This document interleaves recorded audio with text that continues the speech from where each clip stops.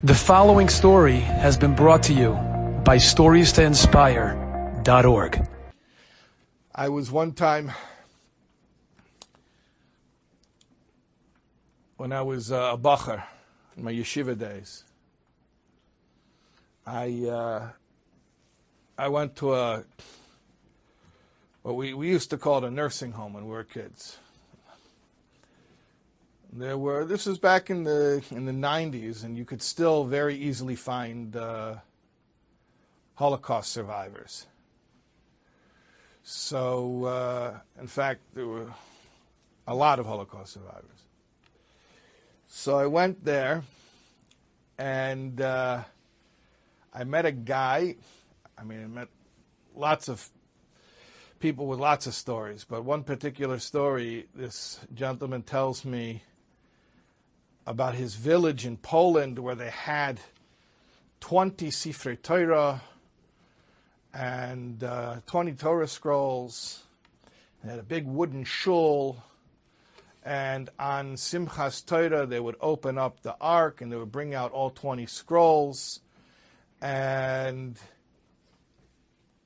this was his favorite day of the year. So he said that when he went into hiding,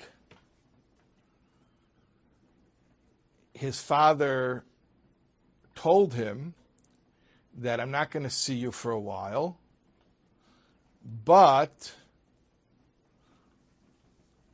when we meet up again, it was close to the time of the high holidays. So the father said, Soon we'll meet up again. We'll be back in time together. We'll be back for Simchas Torah. And I'm going to put you on my shoulders. We're going to have a special dance. I'm going to dance with you on my shoulders for Simchas Torah.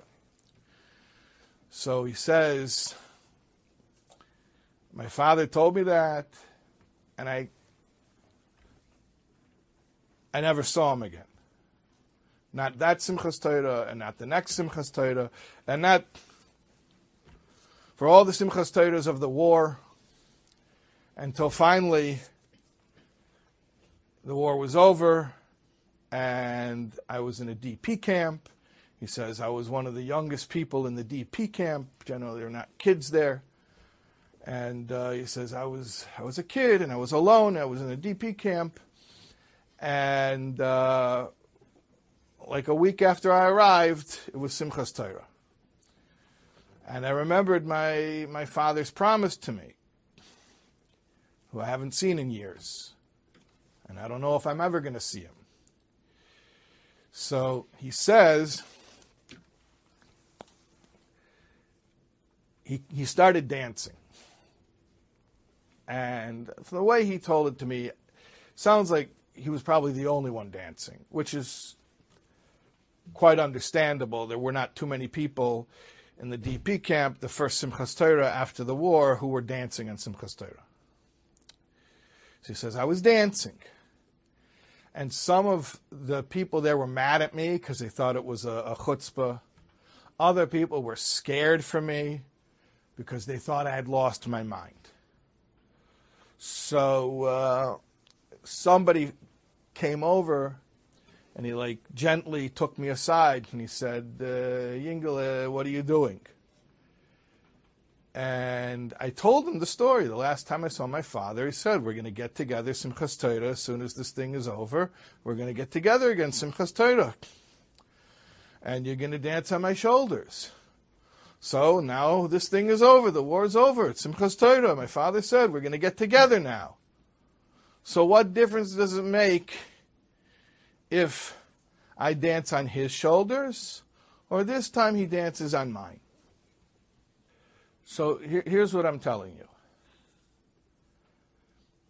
Every soul, every person whose consciousness you got to know while they were in a body,